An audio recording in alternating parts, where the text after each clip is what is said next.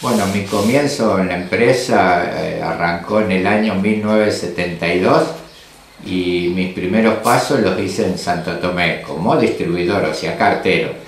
Después, eh, con el tiempo, eh, fui aprendiendo y escalando posiciones hasta que un día X mis superiores me hicieron hacer relevos en distintas localidades de acá de la provincia. He viajado, creo, bastantes kilómetros de una oficina a otra, hasta que una vez eh, también fui a, hacer un reemplazo en Galvez. Ahí ya me tuve que mudar con mi familia, porque ya, eh, ya eran varios años que tenía que quedarme. Y ahí me trasladé con mi familia. Después eh, nació una de mis hijas en Galvez y pedí un traslado acá a San Carlos. En San Carlos Centro eh, estuve 14 años como jefe de correo y después mis últimos años lo pasé acá en San Carlos Sur. Terminé mi tarea a los 47 años de servicio. ¿Y, cómo es esto de estar en la calle, repartiendo, digamos, la correspondencia? Eh, digamos, hay, obviamente, como toda profesión, encontramos a veces los pros y los contras, ¿no?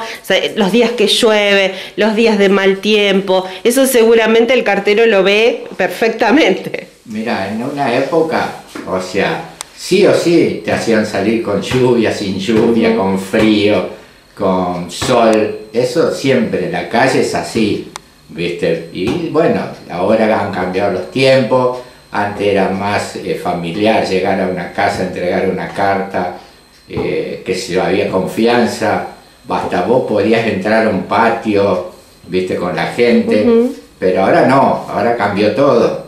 Yo creo que tenés que nomás dejar las cartas en un buzón, ni buen día, ni, ni hasta luego, no sea la gente tomó otro recaudo y bueno, y se puso más eh, complicado hacer entrega de correspondencia. Exacto. Y, Alberto, con esto del avance de la tecnología, de la utilización de los celulares, de los medios de comunicación, de la computadora, eh, de los mails, eh, esta cuestión de las cartas fue disminuyendo en cantidad a lo largo de estos últimos años largos. Sí, sí, la verdad que sí, le quitó mucha correspondencia al correo todo lo que es email. O sea, la carta familiar no existe más. La única carta que existe es negocio, impuesto, eh, facturación. Lo único que ahora correo, sí, o sea, después que yo me, vi, me fui, pero uno a veces mira, lee, qué sé yo, eh, mucha paquetería. El correo ahora está trabajando con mucha paquetería. Así que... Claro, en esta época de pandemia por ahí se agudizó un poco, ¿no? También, y, o si no cuando las empresas hacen, viste, descuento, la gente compra, y bueno, eso es uno de los fuertes que ahora tiene correo, porque la verdad que hasta mismas facturaciones, por ejemplo, que es de telefonía, el 50% viste que te lo hacen por internet, podés pagarlo por internet, por un banco, entonces no, no te llega la factura, y eso disminuyó, pero un 50% también de esa facturación. Y, quien trabaja en el correo también se fue como ayornando con la tecnología, por, porque bueno, los avances también se implementaron ¿no? en todo lo que era el sistema. En estos últimos años de lo que vos fuiste, viste hasta tu jubilación, uno tuvo que aprender.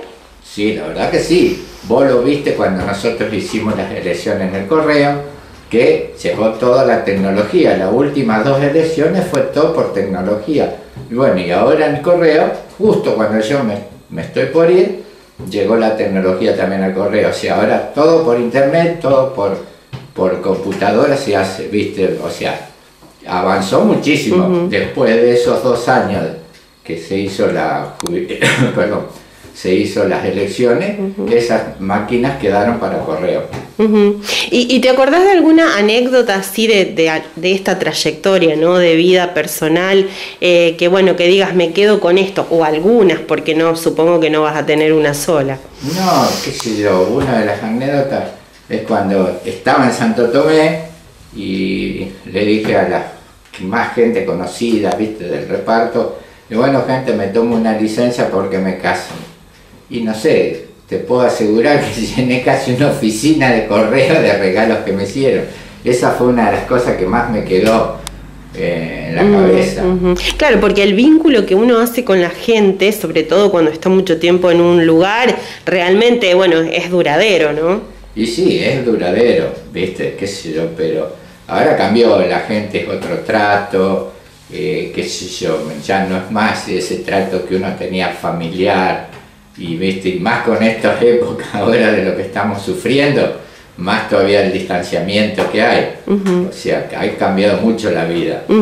Bueno, y para finalizar, ahora ya estás jubilado, ¿y cómo llevas eh, eh, esa cuestión hoy por hoy? ¿Uno por ahí mira con nostalgia el trabajo, lo que hizo, o no? ¿O ya es la etapa para descansar? Mira, no, no, no me agarró esa nostalgia de decir, uy, me tengo que levantar a las seis, me olvidé. No, no, lo tomé bien. Y hasta el día de hoy lo tomé bien. O sea, lo estoy aprovechando para descansar, decir, bueno, ¿cuánto hace que no me levantaba, que sea, a las 10 de la mañana? Era un trajín de todos los días, que 5 y media, que 6, o cuando viajaba a otras localidades, que tomar un colectivo, que a las 4 de la mañana. En cambio ahora no, ahora lo tomé bien, estoy relajado, este, esperando siempre cobrar ahora nuestra jubilación.